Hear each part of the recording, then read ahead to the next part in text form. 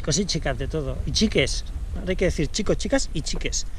Bueno, pues vamos a hacer una activación y vamos a arrancar por primera vez, por primera vez en una hora cuando pille la farola, el, el Stratos, ¿vale? Bueno, lo llevo un poco flojo, pero va bien para que se vea aquí delante el Stratos 2, ¿vale?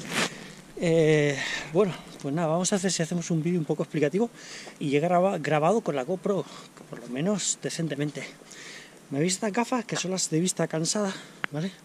Las llevo enganchadas con un imán por ahí detrás, para que no se puedan soltar. lleva, bueno, lleva como un imán extensible y así las puedes atar fuerte. Bueno, pues las gafas son precisamente para ver ahora cuando arranque el reloj, ¿vale? Para ver cómo, cómo se hace. Venga, a ver si aquí una farola. Aquí ves el reloj. Son las 11.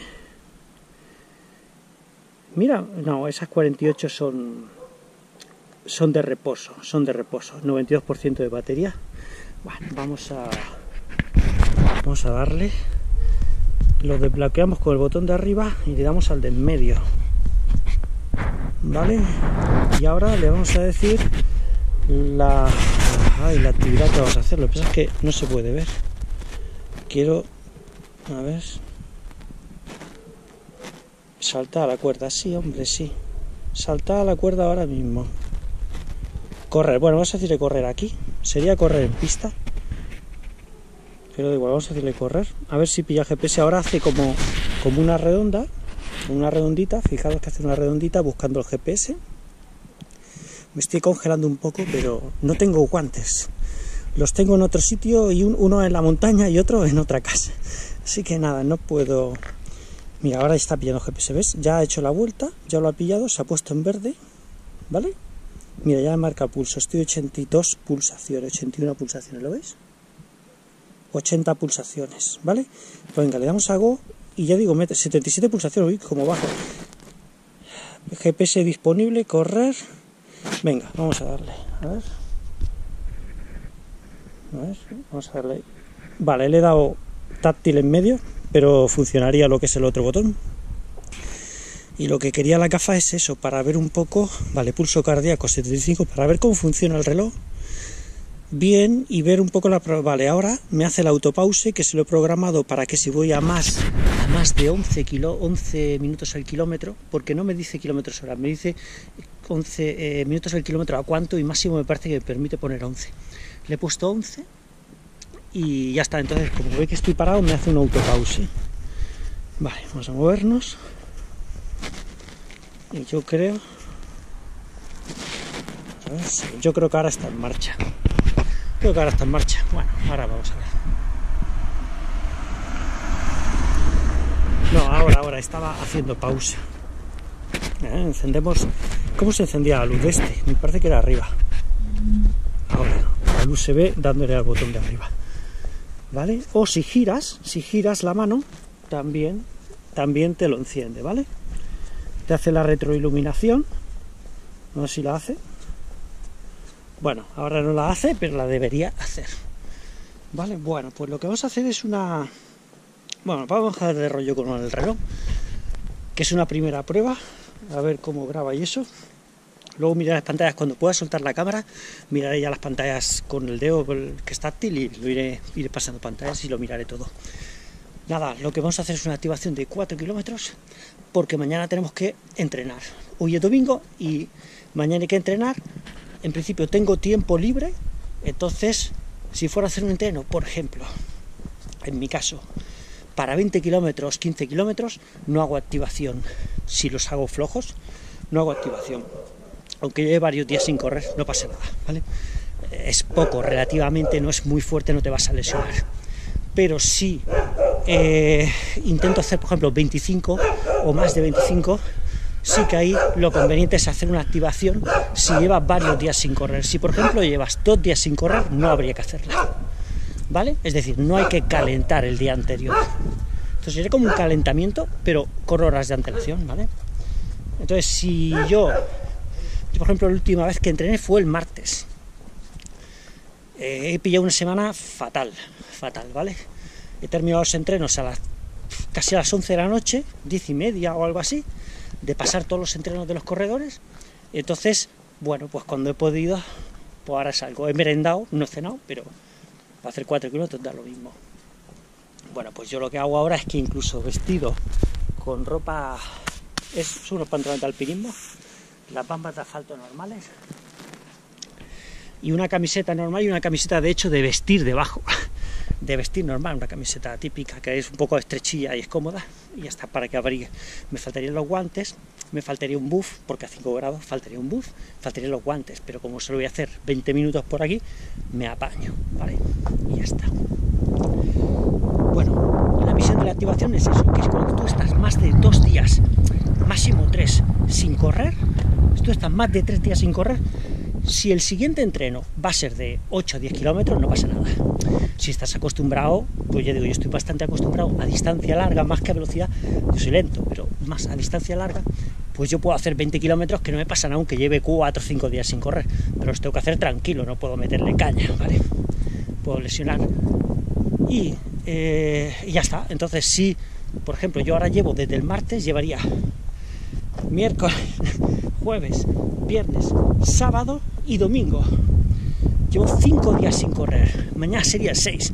Si yo mañana quiero entrenar un poco en condiciones, un poco a un ritmo normal, sin ser fuerte, pero un ritmo normal, quiero intentar sacar 25 kilómetros, un poco que es la idea 25, si me encuentro muy bien y todo, 30, porque yo la idea es hacer, aunque pueda salir pocas veces a entrenar, eh, a mí lo que me gusta es hacer kilómetros, hacer sesiones grandes. Eh, la conclusión que he llegado. Entonces, ¿qué puedo entrenar seguido? Pues lo que os he dicho a veces. Yo para evolucionar físicamente, lo que es de pulmones, de corazón, todo, eh, yo necesito meter días seguidos, cuatro o cinco consecutivos, y luego hacer un descanso de dos o tres días. Como yo evoluciono, yo me mejoro así. Pero porque soy muy mayor, entonces yo necesito mejorar el corazón, ¿vale? O sea, mi clave o mi punto débil ahora mismo, por edad, es el corazón, ¿vale? Entonces es donde tengo que prestar toda la atención. Corazón, no, no piernas. Yo caigo antes de corazón que de piernas, ¿me entendéis? Entonces eh, es lo que hay. Así que nada, simplemente, por ejemplo, tenéis una carrera, ahora se ha hecho autopause, aumenta el ritmo, frecuencia cardíaca objetiva, me está dando, me está dando instrucciones. A ver si se enciende la lucecilla. Bueno, me hace ver autopause y tal. Se ve muy bien, ¿eh? Eso sí, sin gafas no veré una mierda. Bueno, sí, sin gafas más o menos veo, pero tampoco veo mucho. Bueno, esta es la cuesta de hacer los, los, calentamientos. Que yo cuando hago los, eso, las activaciones, lo que hago es esta cuesta, que son unos 40, 45 positivos, la subo y la bajo varias veces. Y luego, después de subirla varias veces, para acabar de hacer los 4 kilómetros que no me llega, me doy una vuelta como a la manzana, así vuelvo por el otro lado, ¿no? Y ya más o menos salen los 4 kilómetros, ¿vale? Una vuelta grande, o sea, como kilómetro y medio, más lo que he hecho aquí tal y cual, unos 4, ¿vale? Bueno, vuelvo a, lo que estaba. Si tú, por ejemplo, estás entrenando, no tienes carrera, vamos a decir las cosas claras, estás entrenando y vas a hacer un próximo entreno, pero no es una carrera, ¿vale? Si tú estás acostumbrado a entrenar, por ejemplo, yo que sé, 15 como de normal, 15 de diario, para que no hagamos una idea, de, en, sesiones de entre semana, 15 kilómetros, pues tú, aunque estés tres días, vamos a poner, o cuatro, y luego tengas que hacer otra vez 15 kilómetros, si no los pretendes hacer fuerte, que no es ninguna carrera ni nada, puedes no hacer nada, activar. Es decir, tú has estado tres o cuatro días parado, vas y corres los 15 kilómetros, flojito, y ya está, ¿vale? Sobre todo una media hora primera de calentamiento, de que vas haciendo, pero déjate, frena, ¿sabes? Échate el freno y luego cuando caliente las piernas ya le vas dando más. Entonces no es necesario activar nada el día anterior. Vale. Pero, si tú, por ejemplo, tienes una carrera, entonces lo que se suele hacer es entrenar. Por ejemplo, la carrera es el domingo. Entonces tú lo que harías es que eh, jueves sería el último día de entreno. Bueno, sí, para hacerlo bien, si la carrera es un poco grande, el último día de entreno sería el jueves. Harías el jueves un entreno mediano, ni grande ni pequeño. Bueno, es que esto ya es ya es ponerme mucho en pormenores y esto al final cada caso es un, cada cosa, cada caso, cada persona, cada tipo de carrera más larga, más corta, va a variar. Pero bueno, en resumen, tú entrenarías el jueves, eh, el viernes descansarías, el sábado activarías 4 o 5 kilómetros, sería lo que yo voy a hacer ahora, y el domingo corres, haces la carrera, ¿vale? Entonces necesitas activar. Solo has estado dos días parado, viernes y sábado, pero como es carrera, hay que activar, porque en la carrera lo que quieres es estar con las piernas calentitas un poquito, que no te vas a lesionar y que cuando tú arranques la carrera estés más rápido, estés más de fondo, más, eh, más vivo, ¿no? Entonces, para estar más vivo, tienes que el día anterior haber corrido y no haber estado dos días totalmente parado, ¿vale? Parado en casa, ¿vale? Que es verdad que habrás descansado mucho, pero de cara a salir rápido en la carrera no va a ir bien, ¿vale? Entonces sería eso. Eh, si... Bueno, ya está, no me rollo más. Sería eso. Eh, eh, si es para una carrera, activar eso. Un día de descanso, el día siguiente activación, el día siguiente la carrera. Ya está. Que es para entrenar, no, no me lío con más rollos. Y ya está. se suele hacer el asfalto, en asfalto plano, para no calentarse mucho la cabeza, que sea fácil de, de encontrar el momento.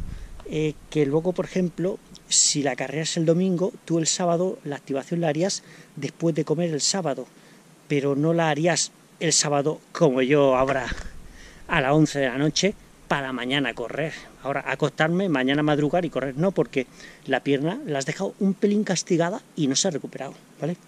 Entonces, eh, habría que entrenar, hacer la activación o por la mañana, pero como perfecto sería después de comer del sábado.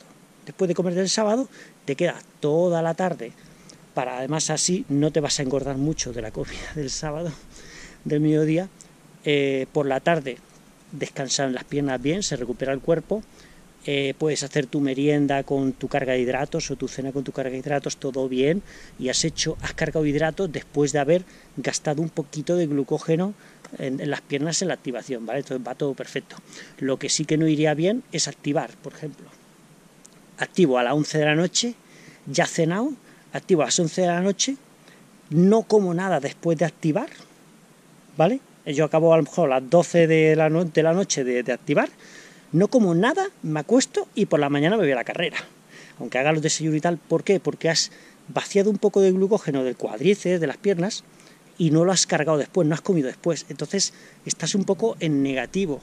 Las piernas no van a tener toda la reserva de energía, ¿eh? digamos, no vas a tener en el cuerpo toda la reserva de energía que pudieras tener si has hecho tu activación después de comer y luego te has hecho una merienda y una cena.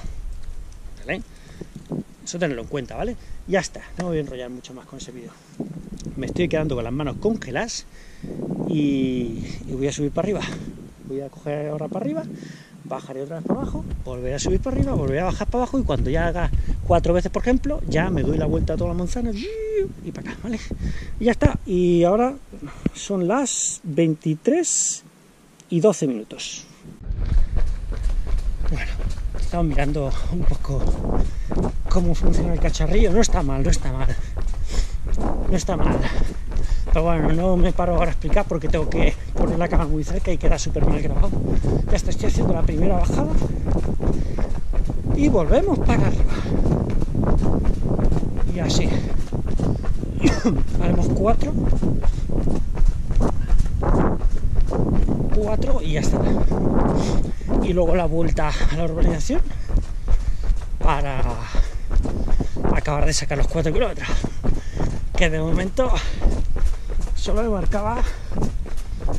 ahora no lo veo. Tengo que ver si existe la opción de que vaya cambiando las pantallas automáticamente o algo. Y bueno, es el botón de en medio el que va cambiando las pantallas. Si está bloqueado. Es decir, si está bloqueado, que se bloquea cuando no tocas, unos segundos, bueno, sería como un móvil. Tienes que dar el botón de en medio para cambiar pantallas. O el botón de arriba para desbloquearlo y entonces ya táctil puedes mover las pantallas táctil. Pero vamos lo más práctico que veo es dar al botón de en medio a cambiar la pantalla y ya está. Dice yo que sé yo pantalla de frecuencia y tal. Botón de en medio pongo otra. No está mal, parece. Le puse que, que no tuviera muchos muchos datos en la pantalla y entonces a lo mejor necesita 4 o 5 para mostrar todo. Ya miraré a ver cuál es la mejor manera. O decirle, bueno, me muestra 6 datos en pantalla que parece que tenía. Y entonces a lo mejor en tres pantallas ya te ha puesto todo. Ahí está, esta parte más baja. Me doy una vuelta y otra vez. Ya veis el ritmo, el ritmo muy tranquilo. Mira. Eh, 140, 140 pulsaciones, si lo ves. 139, ¿ves? 140 pulsaciones. Tranquilito ir haciendo, ¿vale?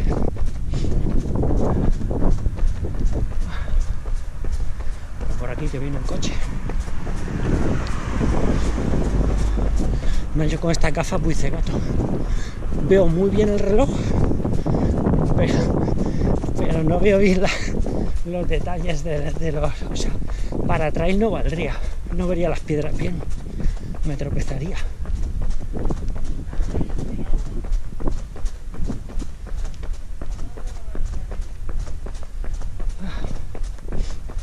Vamos para arriba.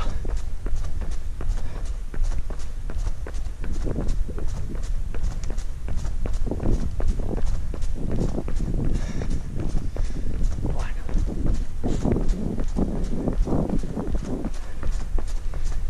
151 pulsaciones, ya está. No hay que pasar de ahí.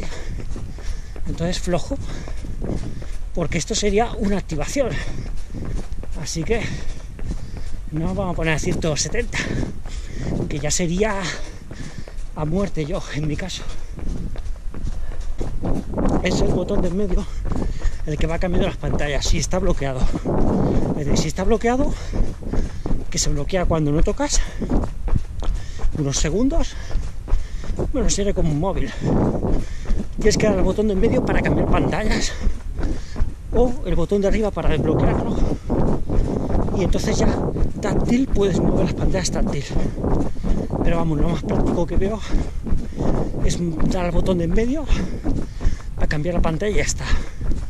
Dice yo que sé, yo pantalla de frecuencia y tal. Botón de en medio pongo otra.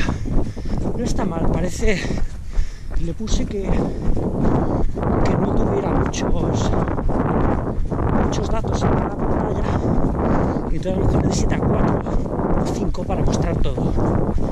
Ya miraré a ver cuál es la mejor manera. O decirle, bueno, me muestra 6 datos en pantalla que parece que tenía. Y entonces a lo mejor en tres pantallas ya te ha puesto todo. Ahí está, esta es la parte más baja. me doy una vuelta y otra vez para arriba. Ya está, veis ritmo, el ritmo muy tranquilo. Mira. Eh, 140, 140 pulsaciones, lo ves. 139, ¿ves? 140 pulsaciones. Tranquilito ir haciendo, ¿vale?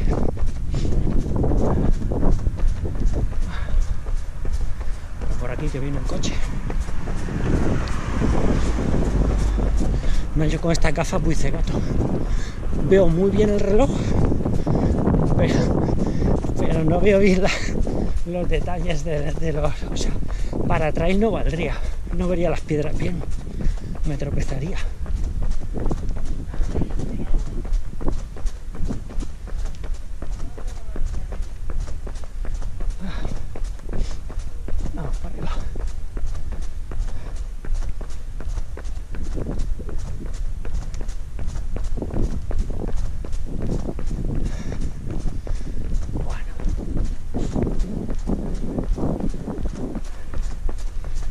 251 pulsaciones, ya está.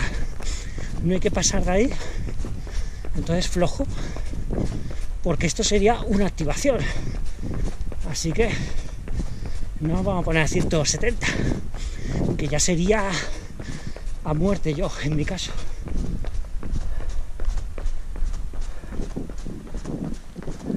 Aquí sigo. Ya no tengo frío. Yo me he calentado, como llevo dos capas aquí. Da calor. Esto por un entreno sería mucho. Por un entreno habría que llevar esta y si hiciera realmente los 5 grados, como ahora, llevaría esta y el cortavientos. Si vemos que va a llover, el chubasquero, el, digamos el de membrana. Si no, el cortavientos, sería eso. Una camiseta gordita, que está de 8 grados, más o menos yo le digo 8 grados porque es como va ideal. 8 o 10 grados, entrenas ideal con esta camiseta. Entonces, como hace 5, pues iríamos eso, con esta y un cortavientos encima, que sube la temperatura quitas el cortavientos, que son 80-90 gramos, y ya está. Bueno, pues vamos a, continuar. Llevo 3 kilómetros y medio, así que nada, voy haciendo chino echado. Por ejemplo, una cosa que ya he visto que tengo que quitarle, desactivarle, es que le activé el aviso si me bajaba de la zona, no sé si era la 3 o la 4 la que ponía, si me bajaba de esa zona, que me avisara que diera ritmo. Y si me pasaba y entraba en zona 5, que me avisara. Pero algo ha quedado mal porque a 155 ya me dice que afloje. Y mi zona 5 empieza en 162, 164. Por ahí, es decir, que algo programé yo mal. Tendré que retocar las zonas cardíacas o algo. O en la edad le cambio la edad o algo. Para dejarlo a mi medida como a mí va bien. Y ya está. Bueno el desnivel ya lo veremos. Si marca de más o de menos cuando haga ciertas rutas que esto controla ya veremos si el desnivel lleva barómetro. A ver el desnivel si lo marca alto bajo. Me hace autopauses autopauses con nada de que ande un poco flojo me hace vibración y me autopausa si yo, por ejemplo, imagínate que estoy en una subida jodida, una subida jodida, irías así, una subida mala. Bueno, de momento no me lo ha hecho, pero como me tonté, me hace un autopause y no, no me lo debería hacer. Pero es que no tenía más opción de 11 el kilómetro, no le podía poner, si voy a 20 minutos del kilómetro me haces autopause, no podía. Era 11 el máximo. Lo que pasa es que le puse 11 y creo que cabe en 11.59. Le pondré 11.59 para la autopause y ya está, y si no, pues ya lo iré haciendo yo se hace la pausa con el con el de arriba, con este, bueno no lo ves, pero el de arriba es el que hace la pausa y le vuelves a dar y reanuda. Y el de abajo te hace eh, el toque de vueltas. Por ejemplo, si he hecho una vuelta o tal, un, punto que te quieren marcar, el de abajo hace eso. Y el de en medio, mira, muy bien. Mejorada su capacidad cardiopulmonar. Anda, qué tontería. Si he hecho 3 kilómetros y medio. Bueno. Y ya está, bueno, me falta eso, afinar con los entrenos, ya iré afinando eh, cómo tengo que llevar la pantalla, tengo que poner los números lo más grandes posibles, porque yo es que ya no veo, y, eso necesito que los números sean lo más grandes posibles para ver todo y controlarlo, pero así hoy con gafas veo cada pantalla lo que significa más o menos, me lo aprendo, y luego ya deduzco sin gafas, deduzco más o menos lo que, en qué pantalla estoy, ver si no voy a ir un poco cegato, ¿vale? Y ya está, la pantalla del, de la parte del, pulso está muy bien, ahora lo voy a poner. Está bastante bien, la pantalla de pulso está muy bonita. ¿Ves qué bonita? Muy bonita, ¿ves? 163. V2 más, no sé qué, bueno, ¿ves? Pero me he pausado reanudar. Le quitaré la autopausa, este es un rollo, y si yo realmente tengo que pararme a mear, ya se lo pausaré yo a mano y ya está. ¿Ves? Porque ahora, ahora me lo ha reanudado, pero pierdes unos metros hasta que vuelve a darse cuenta. Bueno, como todos los relojes, ¿no? pero bueno, se lo desactivaré seguramente. ¿Ves? Otra vez 4 kilómetros, vale, eso sí, le avisé que me fuera avisando cada vuelta, cada kilómetro, me lo ha avisado 4 kilómetros, vale. Bueno, pues venga, vamos a seguir un poco. He hecho, hecho un trozo de vídeo ya lo empalmaré como pueda, porque estaba explicando lo de la activación y tal, y al final he decidido grabar, grabar así corriendo ahora un poco más, y ya mezclaré los, mezclaré como pueda los, los cortes, los tras, ¿vale? De vídeo y ya está. bueno, así veis donde entreno yo. Donde entreno cuando tengo que activar o hacer cuatro tonterías. Voy a enseñar una cuesta que es donde yo entreno para hacer cuestas si las tengo que hacer al lado de casa en asfalto. Es esta cuesta. Voy a, bajar por abajo. Yo la enseño, es esta. ¿Vale? está muy bien. Pues tengo que hablar flojo, que si no, son las 12 casi de la noche.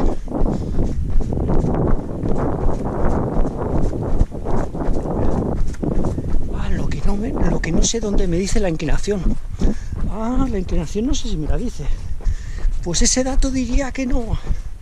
No sé si lo dirá o no. El perfil. La inclinación, el porcentaje.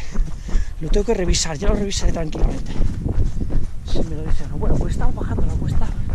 La cuesta de hacer la serie de cuestas. En asfalto. Cuando toca asfalto tienes que salir de, madrugada. No de madrugada, ya sabía a estas horas, a las 11, a las 12 de la noche. Bueno, aquí es esta cuesta. Seguimos bajando. Hombre, no es que tenga súper pendiente, pero está bastante uniforme, está bien.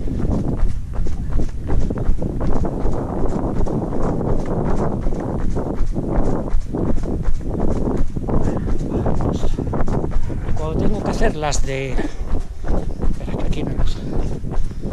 Cuando tengo... Ahora lo voy a enseñar. Seguimos bajando un poco más. Aquí te saludan los perros.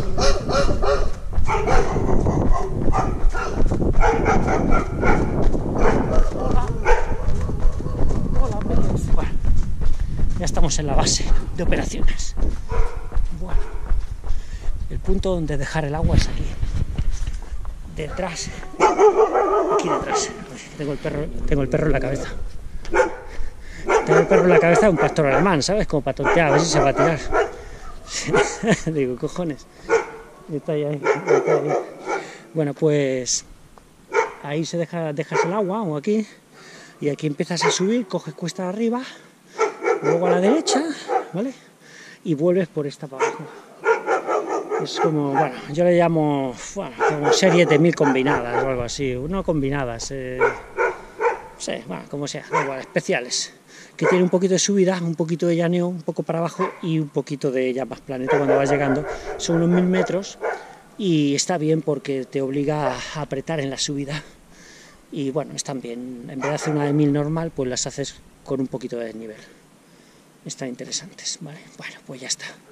Pues aquí nos despedimos, todavía me queda un trocito, yo vivo para allá. Así que ahora tiro para allá, subo un poco de cuesta, pero no mucha, y, ya llego a casa, ¿vale? Pues venga, ahora sí que nos despedimos. Un abrazo.